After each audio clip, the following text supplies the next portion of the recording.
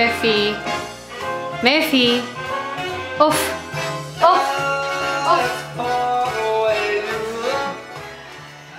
If you have a beagle, you'll know you can never ever leave anything like this unattended for longer than two seconds. If you don't want it eaten straight away. So I'm just going to take off my rings because I'm going to use my hands and I'm just going to give these a quick wash. So,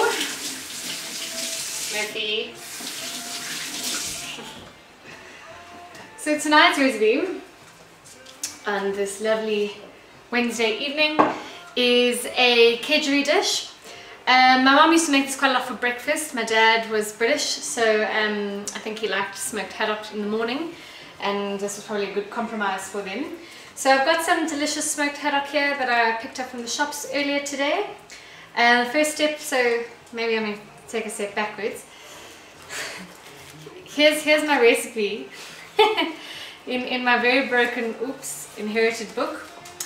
Um, if you can read it, it's really kind of vague list of ingredients. No, there's a, there's a method there but this is not how I remember it. Back to the fish. So, I used to have quite a lot for breakfast as I was saying and um, the recipe that my mom has written here is really not how I remember it being made. Um, this recipe seems very very simple. I distinctly remember her using um, milk with the smoked haddock. I think it's to, to draw some of the smokiness out of it. Um, so the first step in the recipe is to, to obviously now um, flake the haddock. I've got about 450 grams here, so I'm just going to write that down to remember myself, remind myself. I've got 450 grams of smoked haddock. And what do you guys reckon? 100 mils of milk? 150?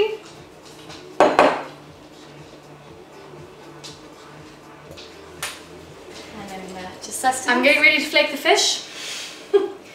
On the stove here, I've got a cup of um, basmati rice in some boiling water with a bit of salt on the go and I've got three eggs boiling, getting those things nice and hard. While they're busy on this oven, I'm going on the stove. I'm going to um, basically flake these. Never flaked a fish before, don't judge me. I'm going to go with rubbing it along the back and then cutting it up into small pieces. Here goes!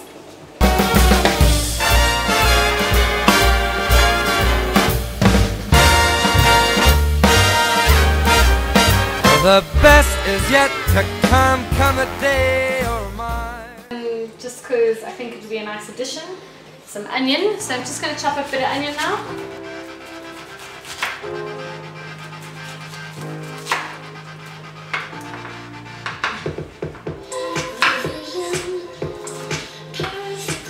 I'm a bit of a lazy chopper, so that's about as far as I'm going to get. I'm going to make sure to cook those first.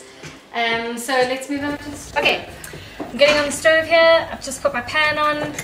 Rice is simmering away nicely. Eggs are almost ready. Apologies that you have to look at me through the steam. Not that fancy in here yet. Up in here. Some noise coming from outside. Anyway. Okay, so we've chopped up fish, put it in a nice bowl of water. Looking good. I've got some onion ready to go. I've just put a bit of olive oil into my pan here. I'm going to fry up first just a teaspoon of garlic. Um, gonna get that going and then I'm gonna add the onion to that to soften that all up and when that's ready we're gonna start adding the fish. Cool, let's do this.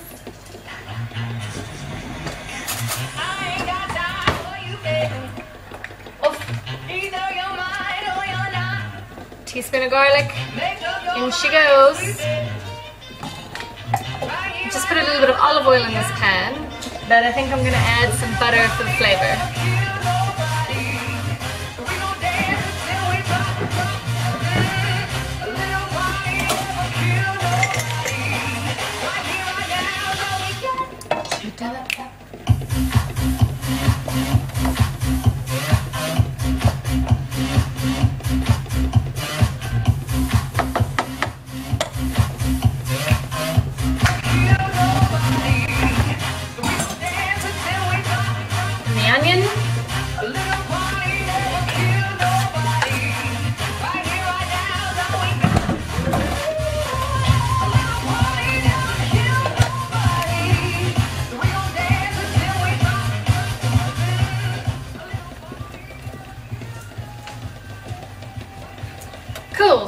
I think my rice is just about ready. The water's gone down. I've turned it down. It's all looking quite good and tasty.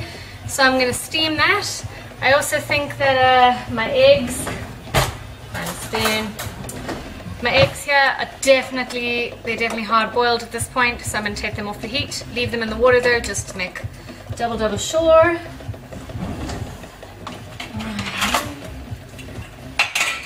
Check this cool nifty thing I got in Sweden, well, from Sweden. Thanks, Swedish family. Okay, off you come. And let's turn that up again. That one off. Right. I'm gonna drain the rice and I'm gonna put it in this nice steamer. Steamer is the best thing ever in the entire world. Basically what I'm gonna do is put the rice in this side, water in the bottom, and let it boil through and steam the rice. Just gives it that delicious, airy, fluffy, amazing tastiness. So, let's do this.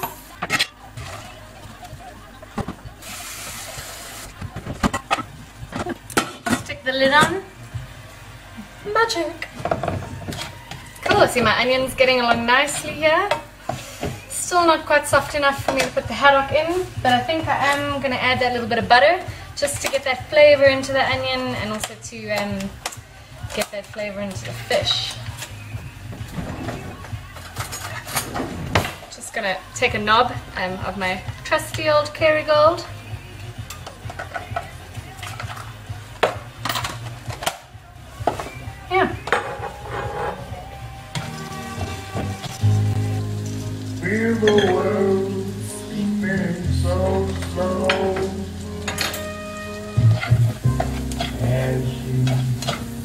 Me in so Gonna just throw a little bit of salt and pepper in with all of that. I really want the uh, onion to absorb as much flavor as possible. And then, uh, I turn the music down.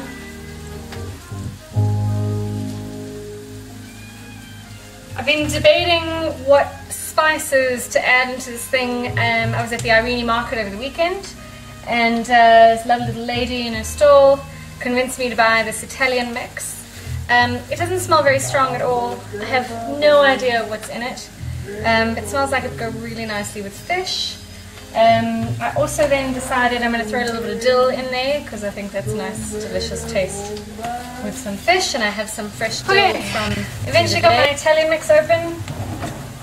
Gonna just take a little spoonful of this. I'm just gonna. Yeah, I still think that's gonna be good in here. So I'm just gonna take a spoonful of the spice, throw it in there, mix it all together. This is starting to burn, so I'm just gonna turn that down. Alright, here's my fish, been sitting in its milk all nicely there. I'm Gonna tip all of that in. There we go.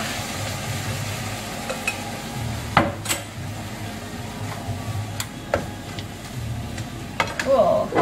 Just gonna, I think uh, the fish needs a bit of pepper, so I'm gonna add that.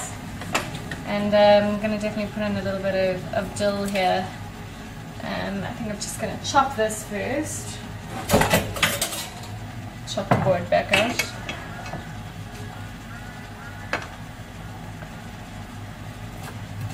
Just give it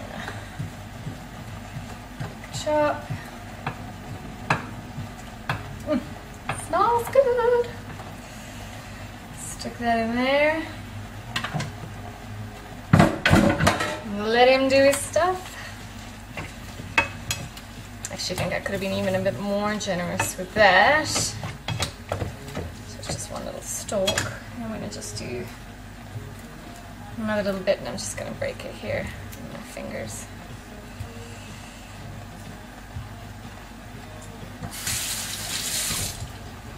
Okay, I wash my hands about 40 times. Well, rinse them at least while I'm doing this. Right, so that's starting to look really good down there. Um, basically, this recipe is literally that simple. So what I'm going to do now, I'm going to add in the rice in there. I'm going to get the um, potatoes, eggs out of here, chop them up, put them in, serve. And I'm friggin' hungry because it's almost 8 o'clock and it's taken me this long to make this and film myself. The cooking has been the easy part. The self-filming, I have a way to go. Bear with me as I learn. Cool. I'm Gonna turn my music up now and you guys can just watch the magic happen. The best is yet to come, and babe, won't it be fine? You think you've seen the sun, but you ain't seen it shine. Wait till the warm up's underway. Oh, wait till our lips So, have stepping over a dog there. Best part of this journey for me um, has really been that I get to recreate all these memories from my childhood with recipes that my mom made. Even the smells, they just they just bring back so many memories to me of her in the kitchen cooking something because she loved to cook um, or baking something. I mean, she was amazing. She used to make the most fabulous cakes.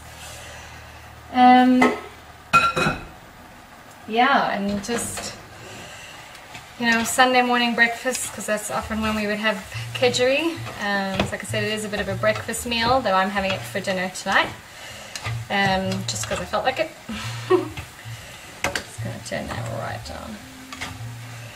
So yeah, so that's it. Really super super simple to make. Um, obviously you can add spices to your own taste. I'm gonna do the last bit here. I'm just gonna cut up my hard-boiled eggs onto the kedgeree. Um, yeah, so guys, enjoy. Um, hope you join me again. I hope I get better at video blogging. and I hope uh, making these recipes for your family or your friends creates new memories and new moments in your life that give you a smile when you look back on and think about when people are no longer with us. Cool. Have a gorgeous evening and uh, bon appetit.